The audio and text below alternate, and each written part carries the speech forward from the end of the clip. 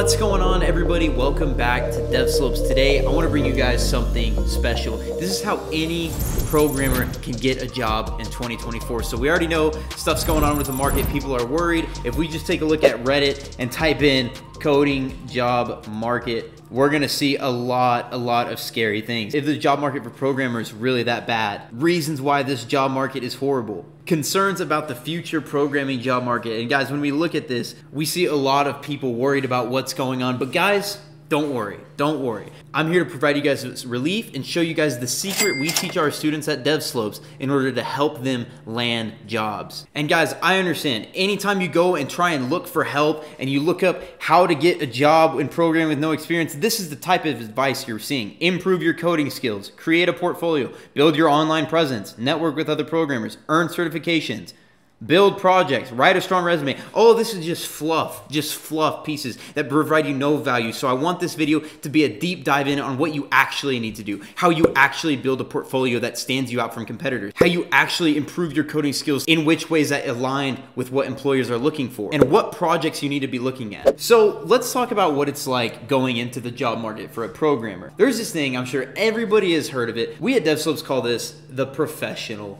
gap. Now, what is the professional gap? The professional gap is this you need the job to get experience. And you need experience to get the job. Now, this is kind of a paradox, right? This makes no sense. How am I able to get a programming job if I don't have any experience? And how am I supposed to get experience if I don't have a programming job? We see this all the time. If we look at job requirements, they're always saying three to five years of experience, or you need to have worked in a professional environment for three plus years. And, and, it throws you guys for a loop because it's like, okay, how am I supposed to meet this? And a lot of the times you see those things, you get discouraged, and you don't even apply for the job. This is such a not a new thing. It's so common. People make memes about it. Look at this. We are looking for someone aged 22 to 26 with 30 years of experience. Like this is this is a common thing in the programming industry. This is all the more reason not to take this seriously. And so this poses the question, how do you get paid experience without a job? How are you supposed to make money in coding to show that you have experience if you can't get a job? This is the secret freelancing. Now, before you guys rush off this video and say, what the hell are you talking about? This is, please get away. I'm not going to become a freelancer. Just, just, just listen. Just listen. This is how we at DevSlopes use freelancing for our students in order to leverage them into high paying jobs. And we've landed students at some of the best careers out there. We're talking Apple, Spotify, Intuit, Airbnb, Facebook, and many, many more. I want you to take a step back for a moment. I want you to have an open mind for the rest of this video. So, freelancing. This is the game of freelance. And I want you to understand how freelancing can benefit you if you do it properly. So first step is to find the freelance work, and we're gonna talk about that in just a moment. The next step is to sell yourself. Now this is a process within itself. Let's be frank, a lot of us programmers have problems when it comes to communication. We like to lone wolf it, trust me, I'm the same way. We like to do things on our own, we don't really like to talk to people. But this is important. This is very important because these skills not only apply to freelancing, but they apply to the skills you need in the current job industry. But guys, you need to be able to sell yourself because you're not only gonna have to sell yourself in freelancing, you're gonna have to sell yourself when it comes to getting a job. You have to stand out from the crowd. You have to stand out from the crowd because odds are when you're looking at these potential freelance projects, they're going to be getting 5 to 15 to 20 to 50 proposals sent to them all the time. And you need to be able to stand yourself out from the crowd. And guys, trust me, I know this is a lot to take in right now. We're going to dive into all of this. So after you stand out from the crowd, you're going to score. And the way that you score is by this. You're leveraging freelance work to showcase employers that you have paid experience. I want you to put this in your head for a moment. You have person A who has a bunch of Udemy certifications from coding courses, maybe a bachelor's degree, but no work experience. And you have person B who has three to five paid portfolio projects that they were paid for from freelancing that they can put on their resume. Who's gonna get hired? The person with actual paid experience. See, this is the gap. This is the professional gap. And this is how you bridge that gap by showing employers, hey, I have paid experience. Whereas someone who maybe just has a computer science degree or someone who just has Udemy certifications or knows a couple languages, they're not gonna have anything to show for themselves. So, what do those projects look like? This is where I want you to listen close. I am not saying it is time to go out and become a freelancer. I am not saying you need to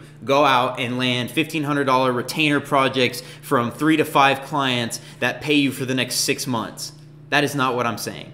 Although that would be awesome, and you could definitely do that if you wanted to, I understand that 90% of you guys aren't wanting to become freelancers. 90% of you guys want the luxury of having job security, want the luxury of being able to work remotely and not have to worry about these kinds of things, want to not have to worry about doing your own taxes. I get it. I get it. I get it. I get it. So listen close because I'm about to show you exactly what these projects look like. So when we're looking at a site like Upwork, I want you guys to do something simple. We're just going to look at WordPress developers. Now, I don't want you to think I'm not a WordPress developer. I don't know what to do. Guys, if you're learning programming and if you've been in the journey of learning programming long enough, you can learn WordPress and leverage the skills that you've learned in programming and apply them to WordPress skills.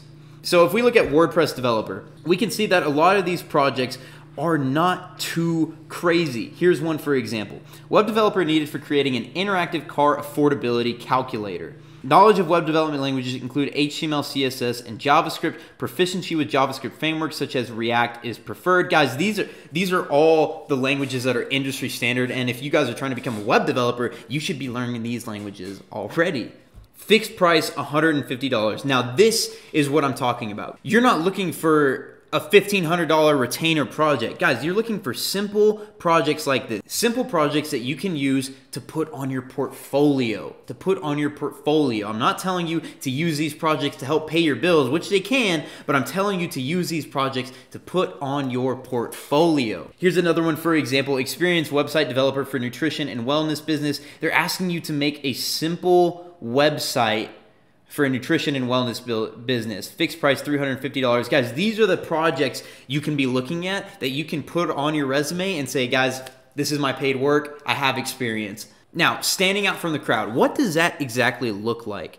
Now, I'm not going to dive too deep into this, but I will say that there are easy ways that you can stand out from the 5 to 10 to 50 proposals that are put out on these projects. Now, I want you to think about for a second what it's like for an employer to recruit a software developer everyone is sending the same resume. And I mean that legitimately. Everyone is showing their little certi- certifications from Udemy. Everyone's sh- showing off their bachelor's degree in computer science. Everybody's putting their calculator apps in their resume. They're seeing the same thing every single time. And so by showing something different, by standing out with paid work, it's going to put you in a much better position. Now, I want you to also think about something that you might not know because a lot of people they look at jobs and they get discouraged. For example, let's look at this job from Indeed.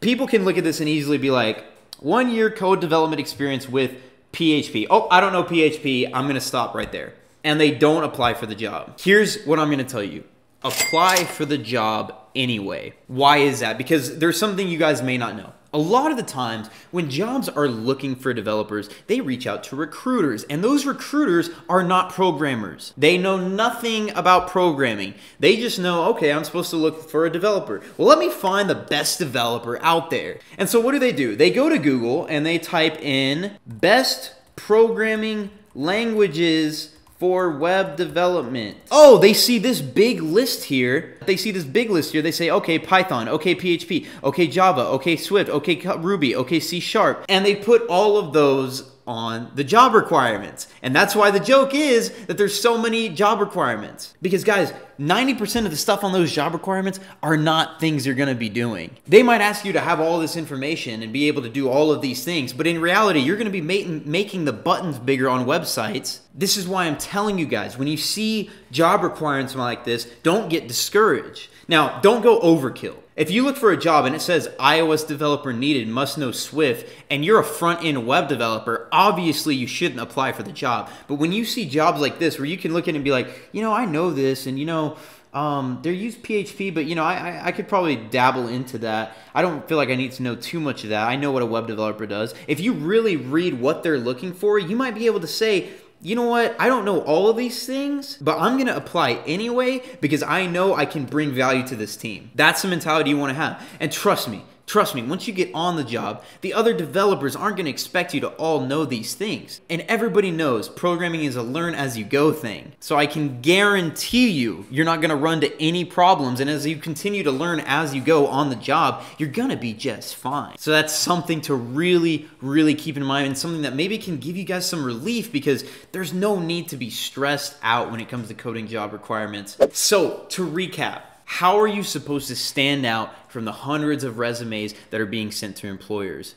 The answer is freelance projects. Now remember, with freelancing, you're not looking to become a full-time freelancer. You're looking to learn how to work with clients, build your communication skills, make a little bit of cash, but primarily look to put something that you were paid for on your portfolio. Guys, three to five projects minimum. Three to five projects minimum. That's what we do at DevSlopes, where we teach people freelancing, programming, and how to get a job. This is how you bridge the programming gap. This is how you answer the question, how do I get a job if I don't have experience. This is what you have to do. And guys, that is it. That is it for this video. I wanted to just dive straight into the point because I understand the frustration. Guys understand that the jobs are still out there and they're waiting for you guys to go get them. So guys, thank you so much for watching this video. Please hit that subscribe button and stay tuned for more videos. We're gonna be talking more about web development, the coding job market, and so much more things with code. I'll see you guys in the next video. Peace.